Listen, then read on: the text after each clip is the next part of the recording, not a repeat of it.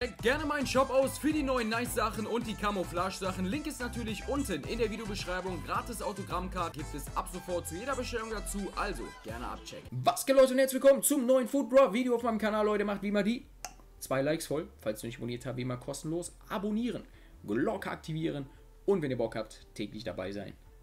Wäre nice. Ich danke euch vielmals. Schreibt wie mal rein, was euer Lieblings-Icon in FIFA 20 bislang ist. Ich denke mal, jetzt sollte jeder vielleicht alle mal gespielt haben. Ne? Ich bin gespannt, vielleicht auch nicht. Und äh, Leute, vergesst nicht, checkt noch meine Songs ab. Ja, ihr wisst es, meine Songs auf Spotify, iTunes, Amazon Music, Google Play und so weiter hören. Äh, Till FIFA Gaming heiße ich überall, YouTube natürlich auch. Hört euch die Songs an, Leute. Gebt dem Ganzen eine Chance. Vielleicht gefällt es euch, vielleicht nicht. Wenn ja, würde ich mich freuen. Wenn nicht, ist natürlich auch nicht schlimm. Ist ja Geschmackssache. Ich danke jedem, der dem Ganzen eine Chance gibt und reinhört.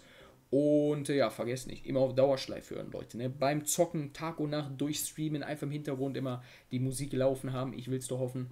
Und Sound muten, damit das Ohr nicht wegplatzt. Ne? Ich will so hoffen, Leute, wir starten ins Video. Bleibt bis zum Schluss dran. Let's go! Leute, hört euch gerne meine Songs auf Spotify und allen anderen Streaming-Plattformen an. Till FIFA Gaming heiße ich dort oder auch Mr. B. Ihr wisst Bescheid. Hier sind alle Songs. Jeden Donnerstag um 23.59 Uhr kommen die Songs hier neu online. Das heißt, ihr kriegt die Songs hier auch schon immer vor den YouTube-Videos. Ja? Das heißt, geht schon mal gerne vorbei. Hier sind Songs online, die ihr vielleicht noch gar nicht gehört habt. Zieht sie euch rein, klickt irgendeinen Song an und macht hier unten rechts dieses Dauerschleife-Symbol an und äh, pumpt den Song den ganzen Tag, die ganze Nacht durch. Wenn ihr keinen Bock mehr habt, macht ihr einfach euer Handy leise, den Sound leise und lasst den Song weiter den ganzen Tag und ganze Nacht durchballern. Ich hoffe es doch. Danke. Okay, was haben wir für Formationen, Alter? Shit. Shit, shit, shit. Wir müssen eigentlich 4-5-1 mitnehmen, damit wir wenigstens. Oder die hier. Ah, wir nehmen mal 4-5-1 mit, damit wir wenigstens linkes und rechtes Mittelfeld haben, weil sonst kannst du mal komplett vergessen. Messi ins rechte Mittelfeld.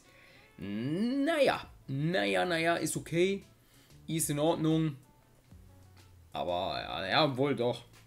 Im rechten Mittelfeld gibt es zwar auch Sancho mittlerweile und sowas. Ist schon in Ordnung. 98 Tempo Moreira. Mariano wir noch am Start. Ist als Brasilianer mal ein bisschen leichter zu linken. Nehmen wir mit. Leute, wie mal, checkt noch gerne meinen Shop aus. Ne? Gönnt euch die Nice Designs, Leute, in Rot, Blau, Orange, Grün. Ich würde mich sehr freuen. Danke an jeden, der mich da mit dem Kauf unterstützt. Wäre fresh. Nice LED-Lampe noch am Start. Ihr wisst es ja, ne? Handyhöhlen ebenfalls am Start, Leute. Ja? Handyhöhlen in Orange, Blau, Rot und Grün. Alles da. Was das Herz begehrt, Leute. Gratis. Autogrammkarte gibt es noch dazu. Ich würde mich sehr freuen. Checkt's aus. Vielen, vielen Dank für eure Unterstützung. Und äh, wie immer nicht vergessen, Leute, nice, Philipp Anderson, noch gerne meine Songs abchecken, Leute. Ja, Songs gerne anhören auf Spotify, iTunes, Amazon Music, YouTube, wo auch immer ihr eure Musik hört. Till FIFA Gaming heißt überall, ja, wer fresh, hört euch die Songs an, Leute. Nice Sache, auf Dauerschleife, ihr wisst es. Immer beim Zocken, Tag und Nacht durchpumpen, ja, damit die eine Milliarden, äh, damit die eine Milliarden äh, Streams voll gemacht werden. Ne? Ich will's hoffen, Leute. Ich küsse eure Nacken. Danke euch. So, wir nehmen wir mit. Ich würde sagen, Juri, Letizia haben wir noch am Start. Erkin, vier Team of the Seasons. Wir nehmen Juri erstmal mit. Ist, denke ich mal, der Beste. Von daher, weiter geht's. In Verteidigung. Pepe, Kempel, Macano, Morillo, Lenglet. Kempel, ja, würde ich sagen, nehmen wir mit, Leute. Bislang nur 90er plus. Ah, ne, Juri. Juri, hat 89. Kann man, kann man auch noch mitleben, ne? Juri 89 ist okay. Ich bin gespannt. 451. Oh, nice. Renato Augusto habe ich noch nicht so oft gehabt. Deswegen mal schauen, Alter. Warum kommt Renato Augusto kommt gerade gefühlt in jedem Draft? Das habe ich ja schon so oft gesagt. Es gibt immer so Phasen, da kommen manche Spieler halt immer. Wirklich, also du kriegst den Spieler quasi immer, immer den gleichen. Jetzt bin ich hier fast, Alter, auf der Jung, Alter. Kriegst dann immer die gleichen Spieler irgendwie.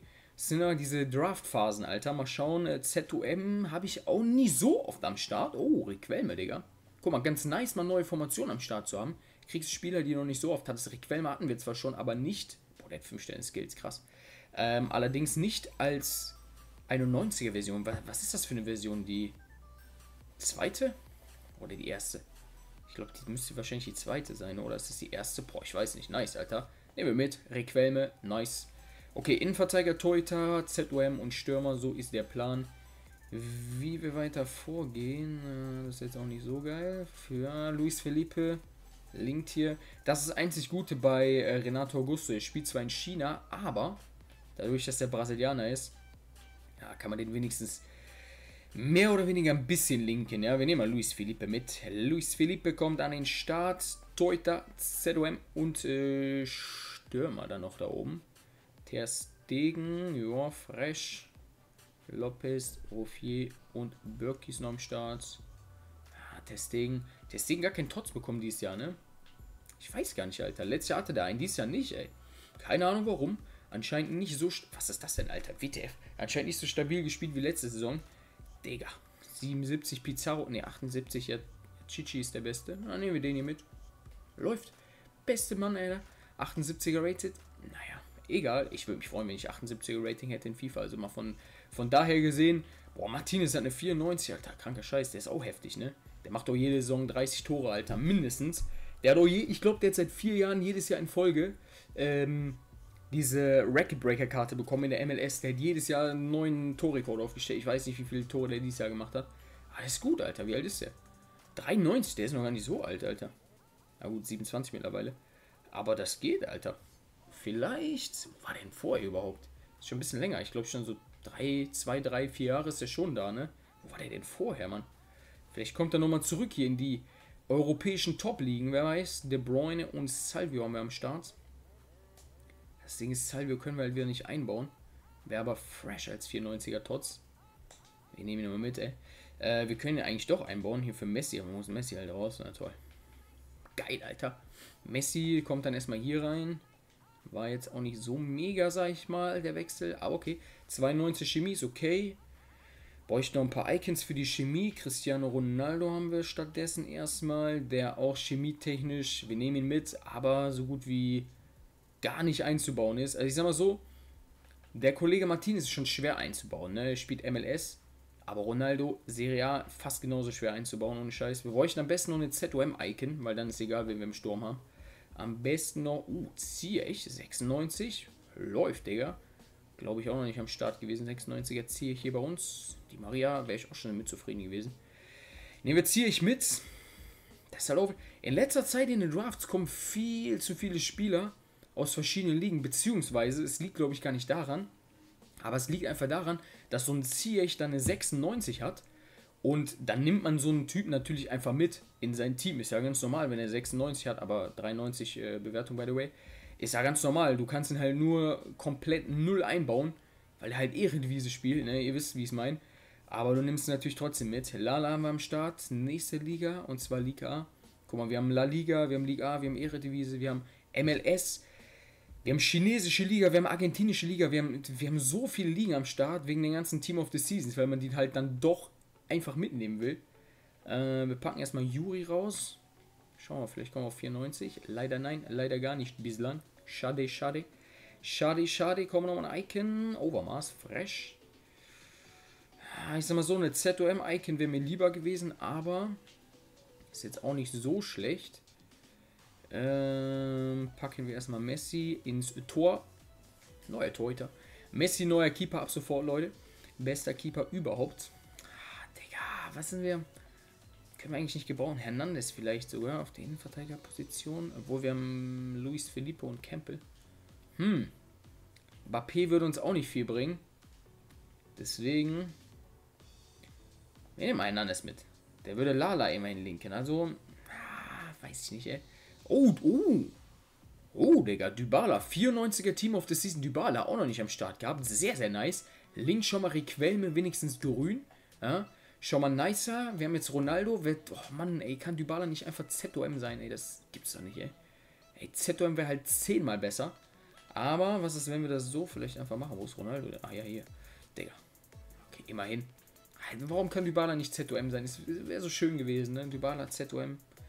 Wäre schon echt sehr, sehr saftig gewesen, aber leider nein, leider gar nicht. Der Rax haben wir noch am Start, der uns auch nichts bringt. Gerard Moreno gibt es als Tots, kriegen wir natürlich nicht. Korrekt, Digga, was will man mehr? Wir nehmen erstmal Draxler mit, obwohl wir Gerard Moreno jetzt eh nicht mehr kriegen können. Hätten wir vom Ding auch, äh, ah doch, da ist er sogar nochmal, wir hätten ihn doch sogar nochmal auf einer Position kriegen können. Hier ist er sogar nochmal als bessere Version, naja, bringt uns auch nicht viel mehr. Oh, Tonali, warte mal. Tonali ist wichtig. Tonali ist wichtig eigentlich hier auf der Position für Dybala, weil der immer in Serie A spielt. Wir bräuchten eigentlich noch eine Mittelfeld-Icon. Ähm, aber die können wir nicht mehr bekommen, weil jetzt kommen nur noch defensive Spieler. Wenigstens noch eine Icon in der Defensive, das wäre saftig. Sergio Ramos haben wir am Start. Ter Stegen, das ist schon mal ganz nice. Ja, nehmen wir Sergio Ramos mit. Letzten beiden Spieler. Also ich glaube 100 Chemie ehrlich gesagt, wird kritisch.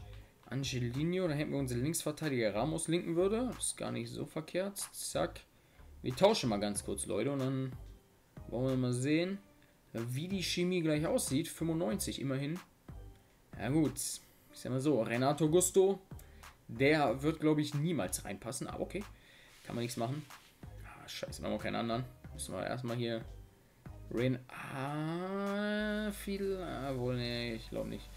Ah, Mann, Alter, das gibt's nicht. Ich glaube, mehr können wir auch gerade nicht machen. Mehr... Warte mal. Ich habe Juri, Digga. Warum stelle ich Angelino mit 79 dahin? Scheiße, hätten wir vielleicht... Okay, sind wir auf 93. Da hatten wir nämlich eben auch noch einen Rechtsverteidiger. Hätten wir vielleicht sogar einen Rechtsverteidiger mitnehmen können. Aber zwei Chemiepunkte... Oh. Digga, dein scheiß Ernst kommt wieder der verdammte Silberspieler auf der Bank, Alter. Egal, wir können mal schauen. Wir könnten diese zwei Chemiepunkte, auch wenn es dieses Jahr kritisch ist, ihr wisst es, selbst zwei Chemiepunkte, was früher eigentlich immer Standard war durch Manager. Früher war eigentlich so vier, vier, fünf Punkte durch Manager immer Standard. Mittlerweile kriegt man maximal zwei, Alter. Wenn es gut läuft, muss man mittlerweile sagen, kriegst du drei Chemiepunkte. Aber schon wirklich, wenn es sehr, sehr gut läuft. Aber äh, wir gucken mal, Leute. 92er Wertung. Ja, ein paar Spieler leider zu schlecht gewesen vom Rating her. Wir kriegen einen. Das war's auch wieder. Ey, der ohne Scheiß, das macht gar keinen Bock, ey. Man kriegt immer, ich weiß nicht warum, ne? Ey, das ist so komisch mit den Managern dieses Jahr. Das ist wirklich so komisch, ey. Hat echt keinen Sinn, Alter. Die Drafts, irgendwie dieses Jahr nicht mehr so viel Sinn wie letztes Jahr, aber egal. Das war's, Leute. Wenn es euch gefallen hat, lasst gerne ein Like, lasst gerne ein Abo da, ne? Falls du nicht abonniert habt, kostenlos abonnieren, Glocke aktivieren, täglich einschalten. Ich hoffe, ihr seid täglich dabei, wenn ihr Bock habt. Äh, checkt auch noch gerne meinen Shop aus, ne? Gönnt euch die nice Designs in Orange, Blau, Rot und Grün. In den vier Farben. Kissen, Tassen, Turmbeutel. Nice. LED-Lampe noch am Start.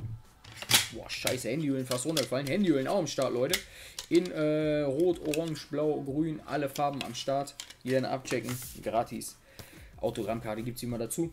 Also checkt's aus. Und hört euch noch gerne meine Songs an auf Spotify, iTunes, Amazon Music, YouTube und so weiter und so fort. Till FIFA Gaming heißt überall. Schaut gerne vorbei, checkt's aus. Ich würde mich sehr freuen. Wäre geil. Ich danke euch. Und wenn ihr Bock habt, sehen wir uns beim nächsten Mal wieder. Macht's gut, haut rein und ciao.